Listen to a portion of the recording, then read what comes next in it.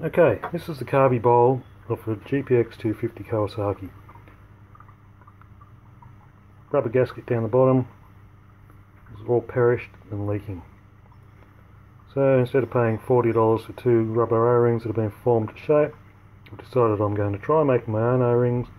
There's a 2mm cross, cross section O-ring, 84mm diameter, which gives plenty of length.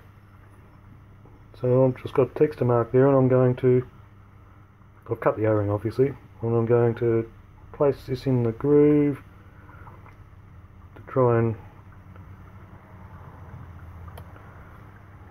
measure the length that I need to cut it to.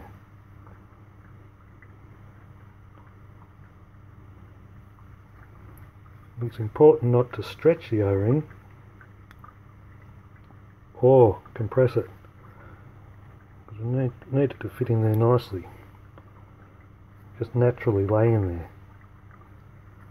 Obviously when the O-ring's together and I in, install it I'll put some grease in the groove to hold it in there.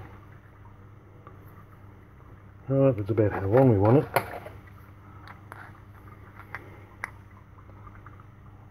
Just there. Now, some super glue.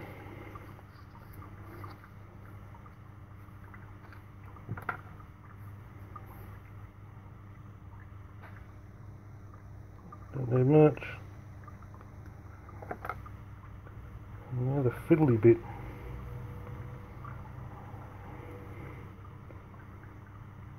Joining the ends together.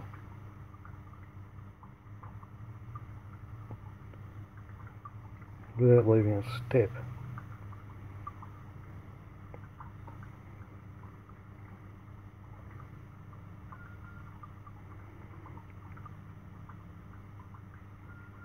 The normal general purpose super glue should do this job quite well.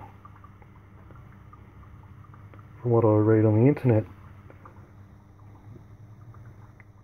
cyan acrylate or whatever it is, glues are resistant to most chemicals, petrol or gasoline included. So let's, I'll leave that sit for a bit and then I'll, I'll try installing it in the carby bowl, see if it works. Nothing to lose, a dollar for an O-ring or $40 for two that are made to suit. So yeah. Right. Well, a little bit of grease and the O-ring sits in there quite nicely. Just proud of the surface, enough room for it to compress, which is important, without bulging out of the groove.